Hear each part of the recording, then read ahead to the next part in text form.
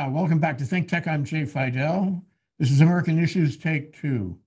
Title of our show is Will Trump's GOP continue to support Ukraine even after the midterms?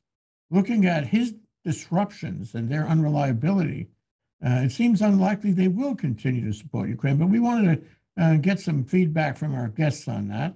So we have uh, Stephanie Dalton, a regular contributor. Uh, we have Jeff Portnoy, a special esteemed guest and Chuck Crumpton, another special esteemed guest. We are very esteemed today. Welcome to you all to the show.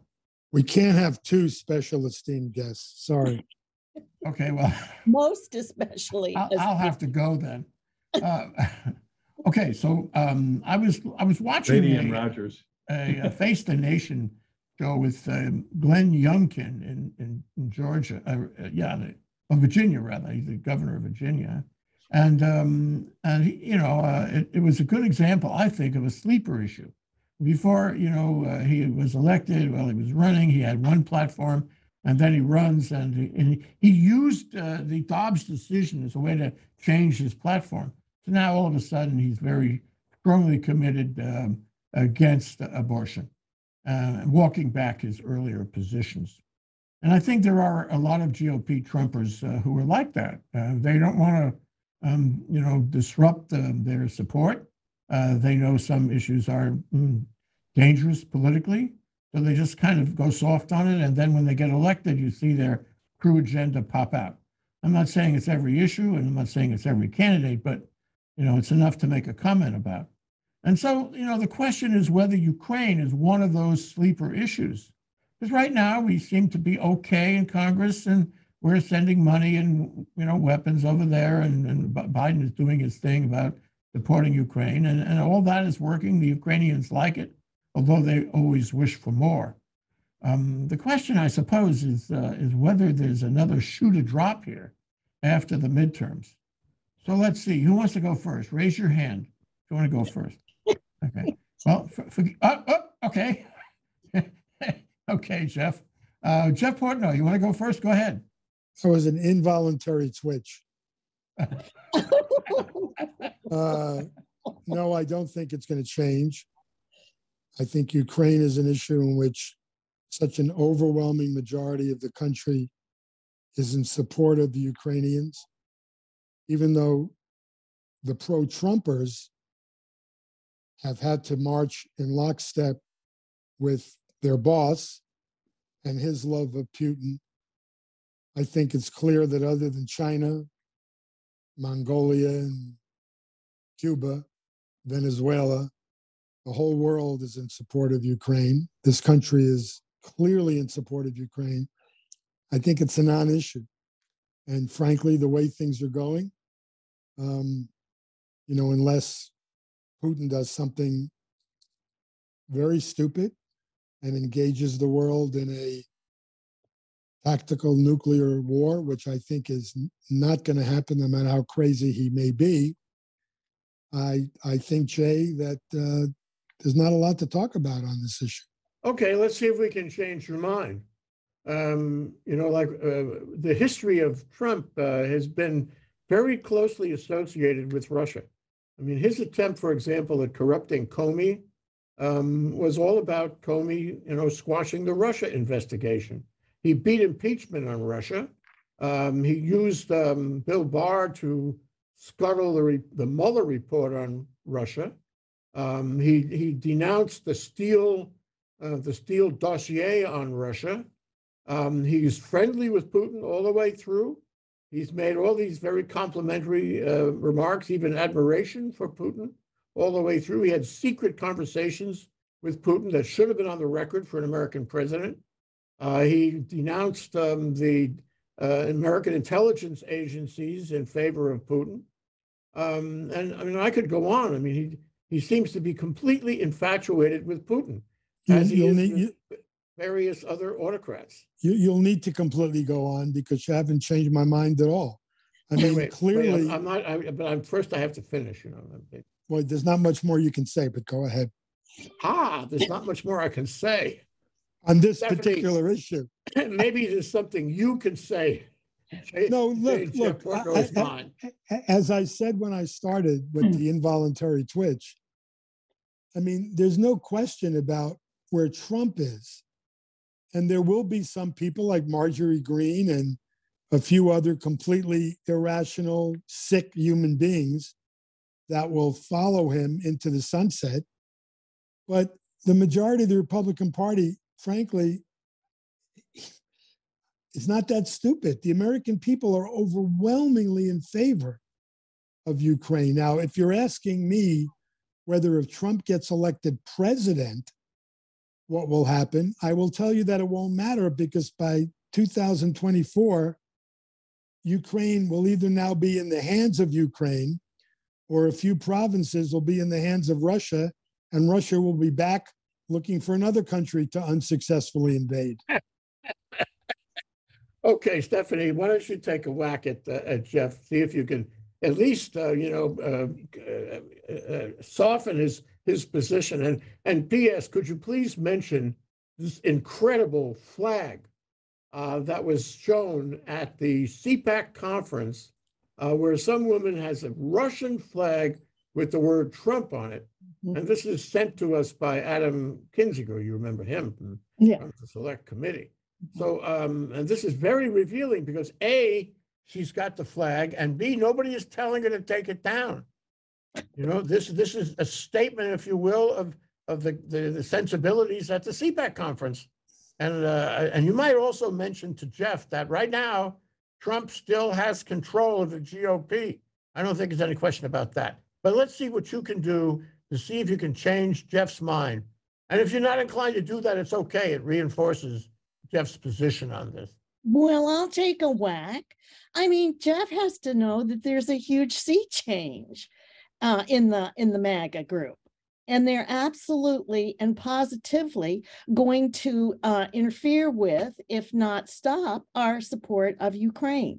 And a lot of it has come on the heels of a Ukrainian um, representative in the House whose name is what is that name? Spartz. She's from Indiana, Republican, of course, and she's herself involved with contractors uh, sending up the um, send, accusing them of corruption and all kinds of things, and yet she wants to try and make a, a killing in it for her own. But anyway, she's like been- presented herself as a complete surprise to her fellow Republicans, but they have adjusted to that, and now they're all there are dozens of them that are all about getting off Zelensky. He's just a grandstander, and uh, they don't think that it's worth uh, U.S. backing them. So I think Okay, okay, you changed my mind.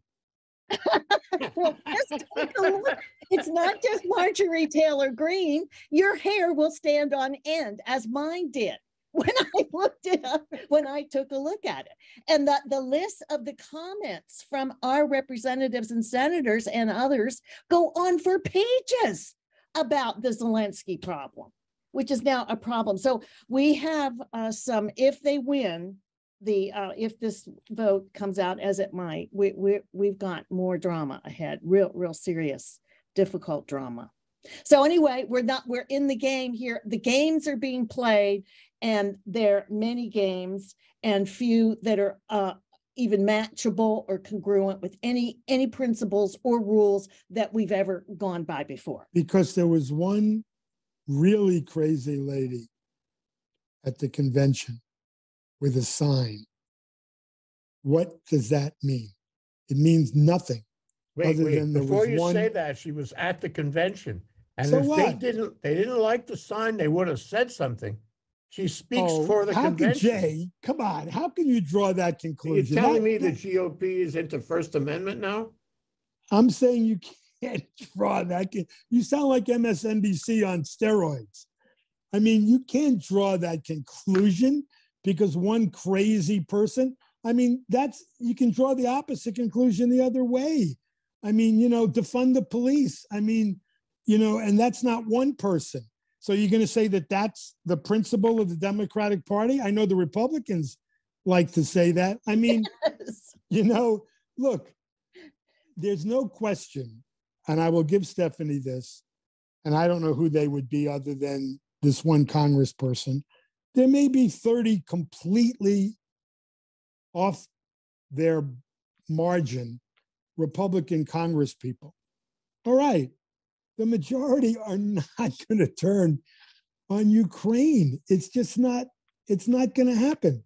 I, I mean, even even Trump has been very quiet because he's dealing with a few other way more important issues. Well, you're right. Like when- Jeff. He's, like he's like who's been going to very quiet and he has like not who's- supported Ukraine either, has he? Well, no, he's not going to support Ukraine. I agree with that. I, I don't and him being quiet is real bad because he was quiet all between the voting in November and the January sixth event. He was very quiet as far as all of us were concerned out here. So the quiet is very nerve Well, wracking. let's, let's turn to Chuck. And Chuck has been listening carefully to all this. Yeah, whose side are you on anyway? Yeah, whose side are you on anyway, Chuck?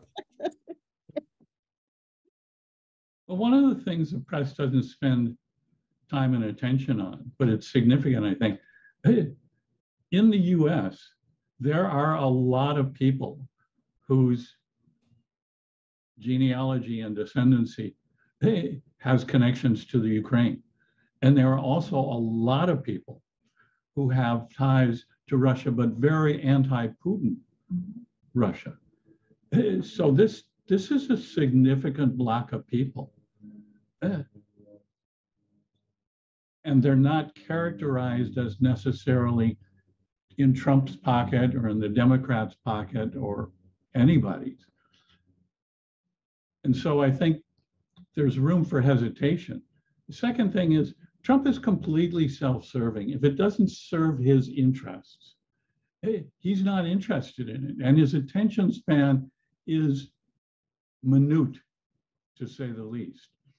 So he's not invested himself in the war machine. He may have buddies, he may have supporters, but his vision doesn't extend that far. So I don't see Trump being able to influence enough of the actual elected representatives who are Republicans to be able to turn the tide against Ukraine, which is actually winning right now. Why would you do that? That's crazy. Second thing is remember the Vietnam lessons. The people whose home it is are going to outlive you and outlast you one way or another with whatever alliances they have. Biden has wisely cast his lot with a unified European support base for the Ukrainian side in the war. There's no, I think Jeff's right, there's no significant political gain in trying to oppose that directly. Attacking it by saying, oh, he made a mistake by trying to court Saudi Arabia, look what OPEC Plus did, things like that. They will try and poke holes, but I don't see it shifting the momentum in support of the Ukraine, at least in the foreseeable future during Biden's administration. Stephanie, you have more on this? Well, I just, it depends on what happens with the election. It will shift if enough of them get in. And uh, this is spreading and uh, people don't see the point of it and they're uh, for Putin. They're for Putin. And uh, just as you said, as Trump has influenced the entire MAGA group to be um, negative towards this effort, and it's costing a lot of money. We're going to hear that go down. And uh, and uh, so so I don't see um, I, I think that it's naive, as, as we should have learned not to be by now. That what uh, portends here is a, a critical situation for us. And that we could uh, lose, you know, we wou- wouldn't be supporting our allies, but we might be put in that position if Biden no longer has control. In other words, the Congress won't allow the money to happen or they get in his way. And that's possible if they get enough people in the Congress. So that, that's what I'm alarmed about, very alarmed and dis- distressed. I want to throw a couple of, a couple of issues in the hopper here. Number one is that, um, you know, I, I, don't think that the mm, public sensibility means a whole lot. You know, we have seventy percent of the country, maybe more, who uh, wants to reverse Dobbs. That's not gonna happen. It's not gonna happen. In fact, there's a fair chance that in the next Congress, we'll see a nationwide ban, even though it's supposed to be in, in, you know, a federal diversity. Well, there's a fair chance we'll see a nationwide ban on. So what, what people, By the way, there's no chance No chance of what? in the next two years of being the nationwide ban on abortion. okay, well, No that's, chance. that's another show. We're gonna have it. we're No, you have this- brought it up, not But what I'm, what I'm saying is, I don't, I don't really think that Congress is responsive to the people out there. They're responsive, they're much more responsive to Trump, especially if, if there's a GOP majority in both houses, or even, or even in one. Um, and I think we have to factor that in and then look carefully at Trump and his acolytes, who are strong as a rock right now and gaining, you know? Uh, his influence is in a strange, ridiculous way and these absolutely absurd, unhinged uh, uh, rallies that he does, and all his email, even and hey, and watch out because now um, Elon Musk is going to buy Twitter. He's going to have a platform again. Twitter, you know, uh, Elon has said that he's going to give him a platform on Twitter. This is a factor to consider. Anyway, so uh, the other point I wanted to make is this: um, Trump has a history about Ukraine. Remember, he tried to corrupt Zelensky back when you know uh, his transactional thing for four hundred million dollars. Will you will you will you hit Biden's uh, son, um, Hunter? Was it? Yeah. Yeah. And and that's and that that is really remarkable that he would go all the way to Ukraine. You think he's unconscious about Ukraine? He's not. But, but He- why, you- you're, you're, assu- you're assuming that he's going to be president again. No, I'm not. Yes, I'll get you to are. that. I'll get to that. I'm I'm assuming he's in charge of the MAGA crowd. So what's the difference if he's not president? Who cares? Uh, the He's- MAGA crowd oh. cares. Yeah. The Which GOP crowd? cares. That's who cares. And he has a lot of control. crowd? This is, this is syllogistic, I'm telling. I could, if I had a chart, I would draw it out and show Wait, you. wait, a can- you tell thing. me, can you tell me of the hundred and what is it, ninety Republican Congress people? How many do you put in the MAGA camp? How many? Far too many. How many? We're gonna take a short break so I can go count. No, it's I mean, 100. Let I me- mean, are got, there- You know, are a there- ve- are very there- nice distraction, but let me go on with my comment. Um, so if you, Jay, that's good. if, No, if at you- some point we have to stop you. No, At, at some point, we have to let the distractions rule the conversation. Where have I heard that before? Uh, so what I'm saying is that uh, Trump has had a history with Ukraine. He has a, had a history you know, about attacking Biden. Whatever Biden does, he needs to do that for 2024. He's going to continue to do it. He's going to have his MAGA crowd do it. I mean, he's been quiet about Ukraine. He hasn't criticized uh, uh, Zelensky, but he also hasn't supported Zelensky, at least. He- all those- Jay, Jay, Wait, I wait, have stop. to- It's I time for a distraction. no, I I have to, I have call to a stop spade you. by a spade. I, I have to stop go you it. because, because It's an interruption and distraction. Go ahead. I think, I think Mr. Trump will be preoccupied over the next two years with issues far more important to him than Ukraine. Oh, I think this is a delicious issue. Everything be, that, everything that, right now, we're on the top of the world in Ukraine. He's winning, okay? And the, the, the news coming out of Ukraine is great. The news coming out of Russia is great. We can't go up from here, we go down from here. You know, uh, it's my fatigue theory of the stock market. Are you ready, Jeff? Can you handle it? Okay. The stock market goes up because it's tired of going down. When it hits the top, okay, it's tired of being at the top and it goes down. It- it's my fatigue theory. And I think we're going to get to a fatigue theory in Ukraine. It's going to be a delicious issue for Trump to focus on and have his MAGA crowd focus on. But remember, there's something under the hood here. It's more than the golden shower. It's something in the Steele dossier. It's why he tried to corrupt uh, uh, James Comey. It's why he tried to corrupt Bill Barr on the Mueller report. He really flim-flammed the Mueller report. He made it go away. What was it about? It was about Ukraine. It was about Putin. And and and what about what about that first impeachment, which he worked so hard to scuttle? It was about Ukraine. It was about Putin. I mean, so re- remember that Putin has been at war since at least uh, 2014, right? The the, uh, the the Winter War. uh, which the Ukrainians beat him at. I mean, this is an ongoing issue, and Trump has been involved. Don't also forget that he is was I don't know if he still is, but he was building a hotel in Moscow. Okay, and he had some connection. You have to have, you must have a connection with Putin and the oligarchs to build a hotel in Moscow. Okay, and and that was a big deal.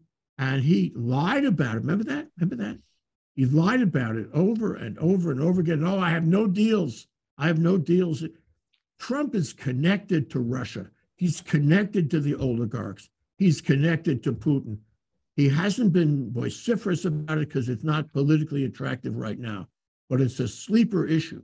And I think if we connect the dots, and I, I'm I'm addressing my comments to you, Chuck, and you, Stephanie. I I've Yeah. sort of given up on Jeff over here. Uh, if, if you connect the dots, you find out that that's got to be Trump's agenda. And it's But- not a question of what's good for the country or even what's good for the GOP or how many, you know, GOP um, uh, representatives there are in the House or in, in the Senate. It's a question of what Trump has on his secret agenda, which he will trot out when it's appropriate. You know, you think it was good that he got involved in this kerfuffle over Mar-a-Lago? No, that that's him. It's his agenda. It's not necessarily the GOP. He does his agenda. And part of his agenda is, of course, the autocrats, because he is an autocrat. Um, so, I mean, uh, you know, think of Viktor Orban. Uh, think of um, Xi. Think, I mean, every But- but- autocrat is his. His he admires them, and the, the the one he admires most is guess who? Vladimir Putin. So he's got a relationship. It's personal, But and it will play out. as to Jeff's question about the numbers, we have to remember how does how does Trump do all this? His numbers over 130 people out of the Congress voted to, to not have Biden be president. So if we just go back to that day and what happened then, and that that number has not diminished. That number is just increasing with their getting involved in these other ways of thinking about things and how to be obstreperous and abstractive and how to get, do whatever kind of drama performance they're trying to do up there to titillate themselves. I don't know what it is, but it doesn't have anything to do with what the people need to have happen there. But this is my point, I guess, to Jeff is that I'm trying not to be naive about this man and his influence and his influence peddlers who are nowhere even near at his level of skill. I mean, Roger Stone is a kindergartner compared to Trump in this uh, business, obviously, because he's constantly developing more and more uh, change because he has the power to influence people. He's even made all kinds of money over the Mar- Mar-a-Lago thing. Um, uh, anyway, I, so I just want to say that we can, as all those points J- Jay made are so correct and um, important, but you have to stop and think, how is this all happening? And, and as Jay was saying, it's about Trump paying attention to these things and getting these messages and signals out and, and shaping his MAGA ma- mass, MAGA Well, mass. if, if- if Jay has done one thing today, he's reinforced my view that we need to do something about the filibuster rule. Yes. Jay, Jay's been trying to filibuster. No- Notice how quiet I am. You've got to help me out on this, Chuck. Uh-huh. He doesn't want to help you out. He's sane. Sorry, I think Jeff's point actually is critical. Look at the key congressional relationships that Trump needs to make things work. Mitch McConnell. McConnell was there before Trump. He's going to be there after Trump. And he knows that. And he's operating about as independently to keep his base with him whether they're with Trump or not. That's not a requirement to be part of his base. You don't have to be MAGA. In fact, he's happier to have non-MAGA people in his base and loyal and allegiant than to have MAGA people because he can't necessarily count on them when the chips are down. He's a pretty good example of what Republicans in Congress are going to have to look to for leadership if there are questions, if there are divisions. And the one thing that the Trump has, that the press and the media have not explored is there are serious divisions within the Republican Party, leadership divisions. And McConnell is a really good example of one of them. If anybody thinks he's going to do what Trump wants, if it doesn't serve his own interests, I don't think we're talking about the same Mitch McConnell. So, sorry, I can't help you because I, I don't see Trump's base as expanding. Stephanie makes a good argument that some of those numbers are increasing within the Republican Party, within the Republican primaries. But nationally, let's see what the midterms show. But if Trump has the same level of success in the midterms that he had in the Republican pri- primaries, Stephanie, your argument is one that really should give us all serious concern. I don't think Jeff and I believe that's going to happen. I think you, I think you have helped me, It's time Chuck. to vote. the, the point I would make, or I would take from your remarks is this. Um, yeah, there's an argument between McConnell and Trump right now. That hurts Trump for sure. But we've seen McConnell do a flip flop before. And we know that McConnell's uh, greatest interest, greatest agenda is staying in power in the Senate. And uh, I, I would, I would venture to say that if Trump has got more power, uh, McConnell, as he has shown in the past, is going to be, mm, you know, subordinate to Trump. He's going to follow him. So just as he flipped last time, he's perfectly capable of flipping this time. And if Trump shows greater um, influence on MAGA and in this midterm, um, uh, there's no question in my mind that McConnell um, will will suck up to him. Remember too that the uh, objections that McConnell made a week ago um, were not really directed at Trump. He never attacked Trump per se. And the press was incisive on that. So watch what he says. He didn't really attack Trump. He didn't break it up with Trump. He just disagreed with, um, you know, the one point Trump was trying to push. So the other, the other thing I, I just want to mention is that, um, is that uh, Trump is more powerful now, and he is going to get more powerful. And his agenda clearly is to return to the presidency. That's what it's about for him. That's the big lie. That's what he's been telling all his base, all his MAGA people, um, that, you know, he, he wants to be president. Okay. And everything, I would say everything he does is directed at that. So if one of the things he has to do is attack Biden, he will do it. And if he feels that raising the specter of mistakes by Putin, by uh, Zelensky or um, or you know somehow elevating Putin, um, he will do that. It's a question of opportunism. Um, furthermore, uh, I, I want to say one other thing, and I'll get off because you know Jeff, Jeff has given me the fisheye over here already. Um, you you see that the, the, the January 6th is not over. You know, you, you don't have to burn the Reichstag more than once. Uh, in, in a great way, um, January 6th was successful. It demonstrated that there's a lot of people out there who support Trump and who now talk to each other and who are now a community, whether a few of them, just a few, get prosecuted or not. Um, and so Trump is busy like a beaver all over the country reinforcing that conspiracy. And he will use it when it suits him. Uh, he will use it uh, either politically in various, um, you know, uh, battleground states or battleground streets. He will use it. Don't write him off. He is he is going great guns, and this issue could fall right in his path. Trump will not be president again. Put this tape into the think tech time capsule and we'll open it up in two years, Jay, and we'll see who was right and who was way off. Uh, Well, it's, it's digital. I mean, it, uh, um, it, it's either yes or no. Stephanie, you feel Trump could be president again?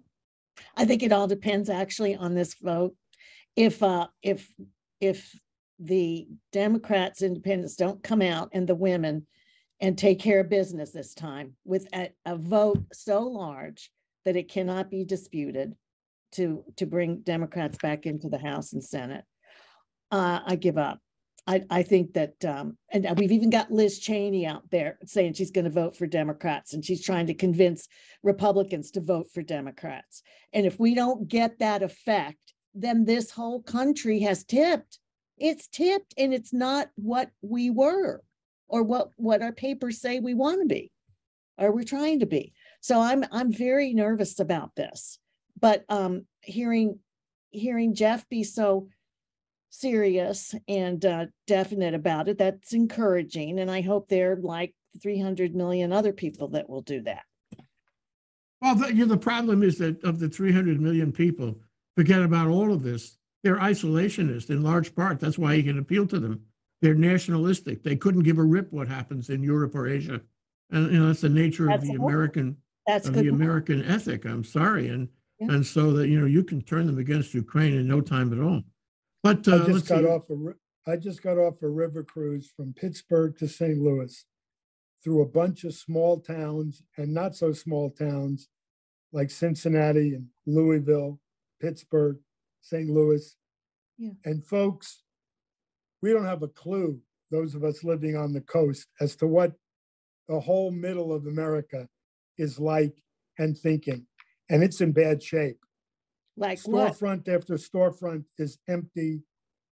People are uh, all white with a couple of enclaves of, of uh, Asians or more importantly, Lat- Latinos or Blacks. The coasts don't have a clue, as I've said repeatedly on these shows, as to what's going on between the mountain ranges, the Allegheny and the Rockies. And I now have a much better appreciation of really where this country is politically Well, what is your having spent ten days in, in small towns of America. What are they saying? Communities or communities that have lost one factory after another. It's not pretty. What are they saying? Basically, what I just said, they're, they're trying to keep their communities alive with, with nothing. I mean, you go along the Mississippi, you see one abandoned factory after another, all the way through the Midwest. Doesn't that make them more amenable to, to Trump? Yeah, no, I think uh, that's, you're right. Yes. Well, not to Trump, but I think to the Republican Party and the, the issues the Republican Party are, are um, using in this election. I mean, what it's come down to, and I, I understand it. I watched, I can't tell you how many ads in the last two weeks from Pennsylvania to now I'm in Colorado. And every Democratic ad says nothing about anything other than abortion. Not one. Every Republican ad is on gasoline prices, inflation, the loss of jobs. We'll see which one wins out. I'm not that optimistic. Well, the problem. with the Re- the No, it's hard to be optimistic about the midterms for sure. But when you say that Trump could never win in 2024, you are being optimistic. Well, because I think, I- I Yeah. think there are more evil Republican candidates who will likely be nominated. Yes. So, uh, Chuck, uh, you know, you've got to help us out on this. Uh, make some sense of it. You don't have to agree with me. You do have to agree with Stephanie, though. Uh, and and and and, and Je- Jeff is going all directions now. I think we got him on the run. So, what, what, what's your summary on all of this, Chuck?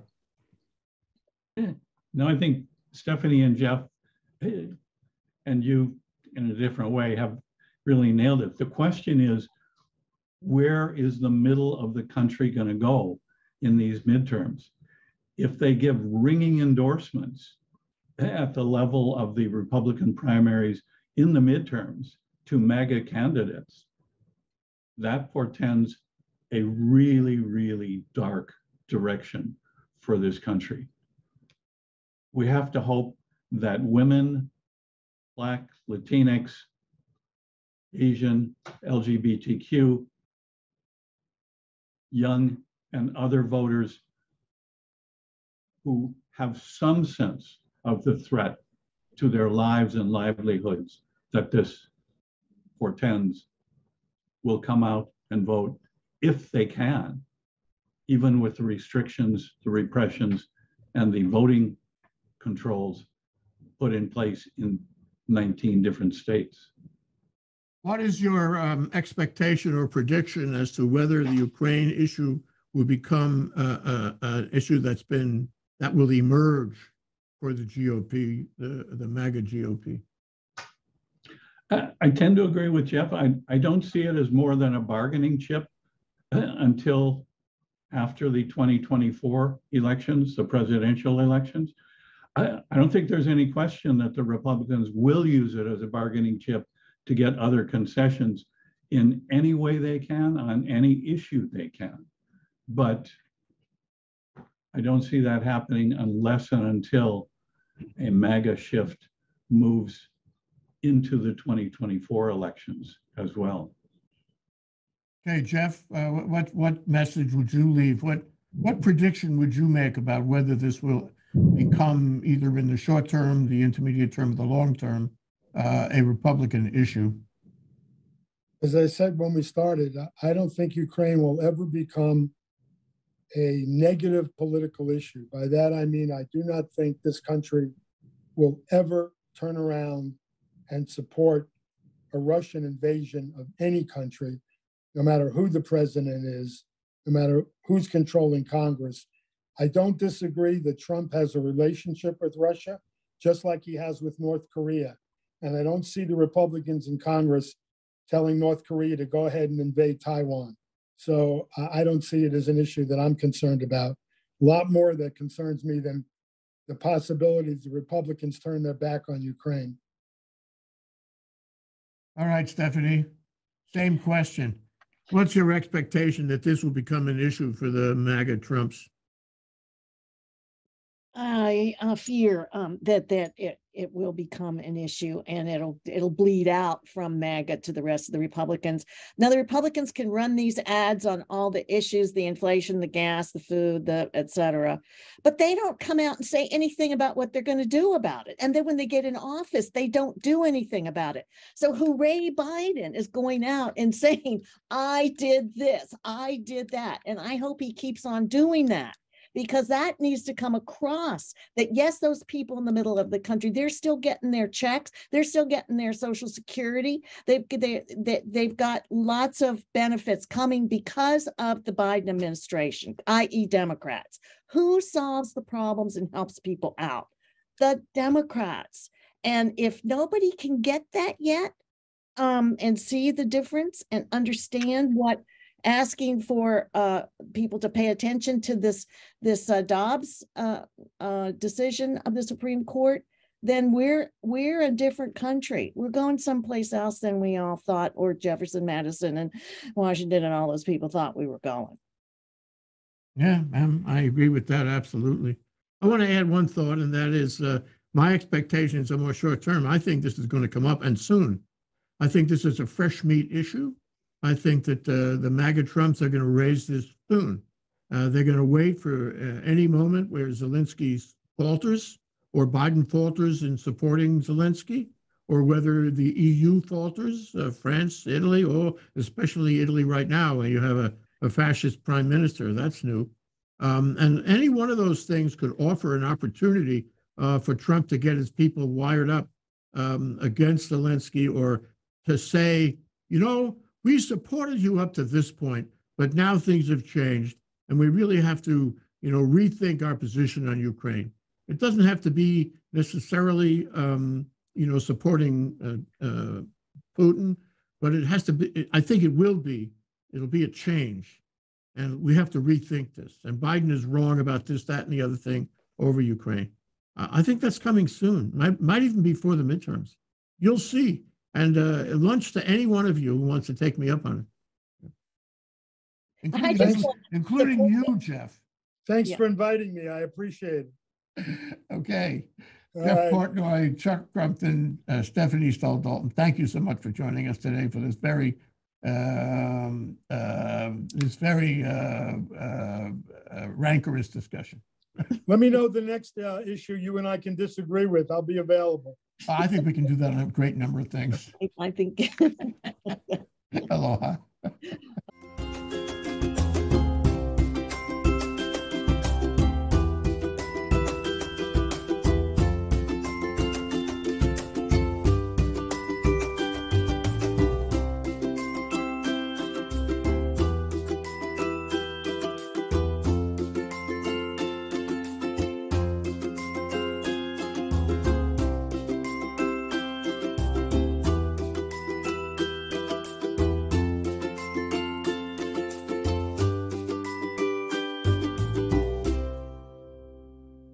Thank you so much for watching Think Tech Hawaii. If you like what we do, please like us and click the subscribe button on YouTube and the follow button on Vimeo.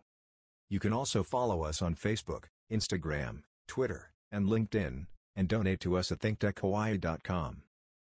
Mahalo.